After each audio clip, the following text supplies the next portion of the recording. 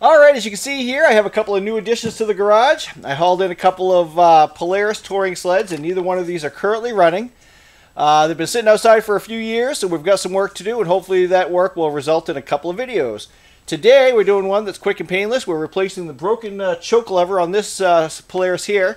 And the process I go through is going to be the same or similar on a lot of other recreational vehicles with this lever type of a choke, okay? Uh, let's go ahead and get started, and uh, this one should be quick and painless. Alright, we'll start by removing this threaded retaining ring here. And if it's on real tight, you might need to take pliers to get it started. And there is a lock washer as well, so you don't want to lose that. Let's go ahead and set those aside. Alright, so whatever you're replacing the choke lever on, you're going to look for cables that go to that location. In this case, I have three carburetors, so I've got three cables. Um, and the choke mechanism looks like this. And you can see that this is the threaded portion uh, where we removed that threaded ring, okay? Alright, so you can see here we have this box where all the cables run to. And at first glance it might look like it's a sealed piece, uh, but if we go ahead and grab a hold of it and give it a tug, you can see that it does come apart. We have a spring, and then we have this lever mechanism um, that is actually broken on this one, okay? So the kit includes the spring, this mechanism, a pin, and a replacement lever. Let me show you the kit real quick. Alright, so what I'm going to do is hit this uh, with a little bit of white lithium grease here. And if you had it in a tube, it'd be a little bit less messy, but this will get the job done.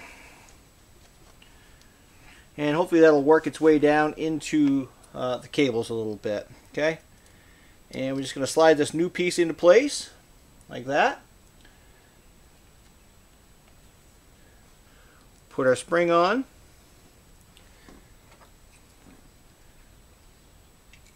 Place the cover here. Okay. All right, this is where it gets a little tricky. I'm doing it over a catch pan so we don't lose our pin.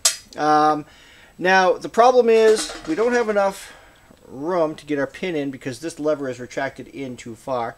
I could loosen up all the choke mechanisms on, on each carburetor, or we could try to take a shortcut, and that's what we're going to do. So I'm going to get the uh, lever on in the correct position here. And there's a flat spot here I didn't point out, I think, when I removed it. So that goes in like that. We want the choke lever to be down. Okay. I'm going to take uh, what I like to call the dentist pick, but just a pick tool here, and see if I can pry that lever up enough so that we can get it where we want it. Okay, like that. And actually, you can see, we can test it out here. So the cables aren't seized up, which is good. Okay, that's how it should work. But obviously we can't ride around with this dentist pick in there, so we need to get the pin in. So what we're going to do, put that back in the regular position, is basically replace this pick with this pin. And may take a couple tries or we might get it right off. Once you get it started, you don't want to pull the uh, pin out because it'll kind of go cockeyed. You'll want to tap it in slowly. And I think I do have it started. Let me get something to tap that in with real quick.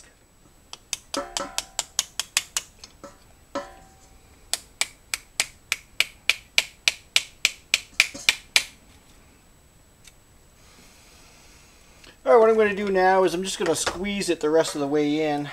It's right there. And again, you don't want to break your new part, so...